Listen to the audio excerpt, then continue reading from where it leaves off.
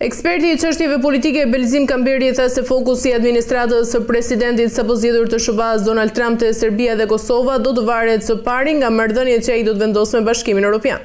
Çështja e normalizimit të marrëdhënieve mes Kosovës dhe Serbisë përmes dialogut të Brukselit do të varet nga ajo se çfarë marrëdhëniesh do ndërtojë administrata Trump me Bashkimin Europian në përgjithësi. Nga këto marrëdhënie transatlantike do të sillet Uashingtoni me Brukselin, veçarisht me Parisin dhe Berlinin, dhe vetëm atëherë do të shohim se si do të jetë ndikimi në Ballkanin Perëndimor, vlerësoi Kamberi. Ai thotë se është ende mjaft e pasigurt se si do të veprojë Donald Trump, megjithëse nuk e përjashton mundësinë që lideri republikan të përfshihet më shumë në punët e Ballkanit Perëndimor.